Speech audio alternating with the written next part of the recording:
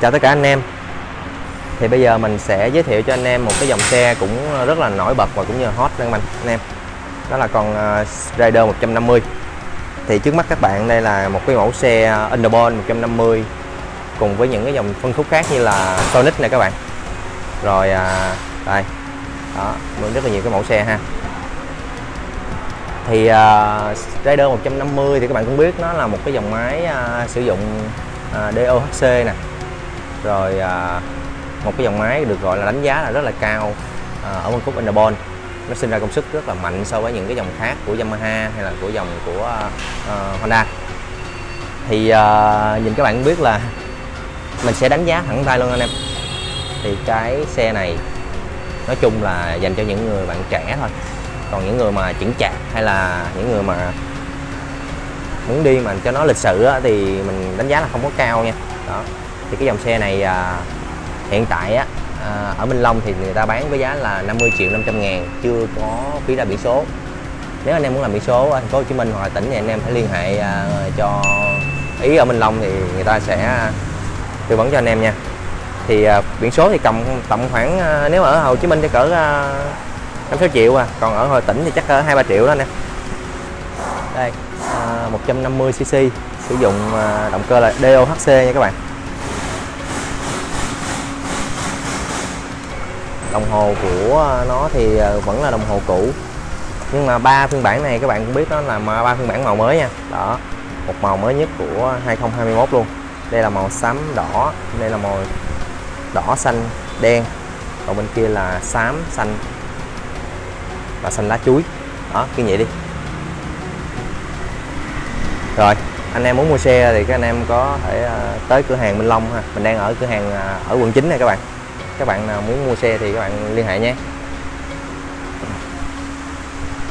Thì ngoài ra thì cũng có những cái mẫu xe khác như là S150 nè gọi là S155 đó. Đó. Rồi à, mẫu tay ga này các bạn. NVX 155 đây. Cái mẫu xe này cũng hot nè.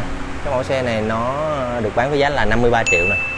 À, mẫu xe mới version 2 của NVX 155 anh em nào muốn tham khảo thì à, có thể à, tới cửa hàng coi trực tiếp đi, cho nó dễ. Đây có ABS luôn nha các bạn. Đấy 53 triệu mà một mẫu xe tay ga mạnh mẽ cơ 155 và có phanh ABS thì một cái mẫu xe rất là đáng, anh em có thể lựa chọn. Đó, cái đầu bao ngầu luôn. Cái đầu này anh em có thể là mua gắn cho Winner X đẹp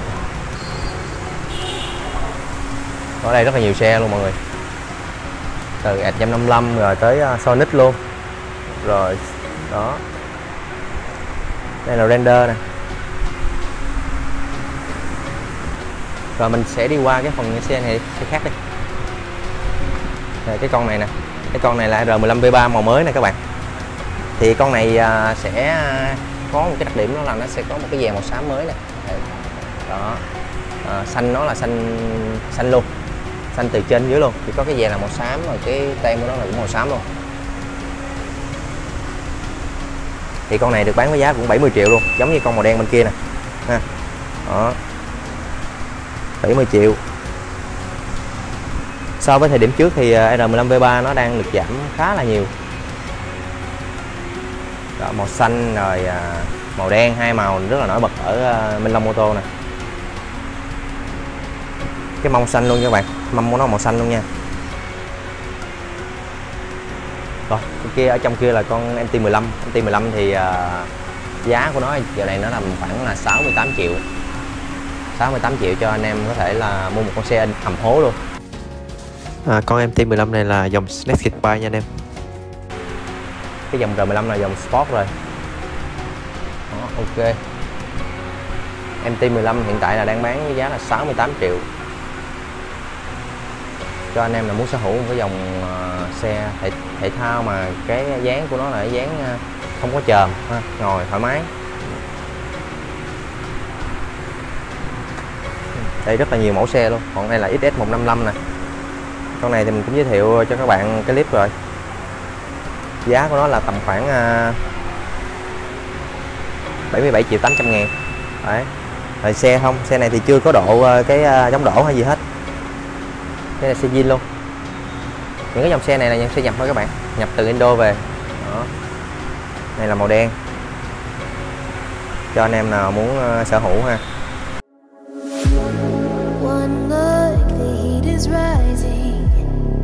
I've been cold for so long.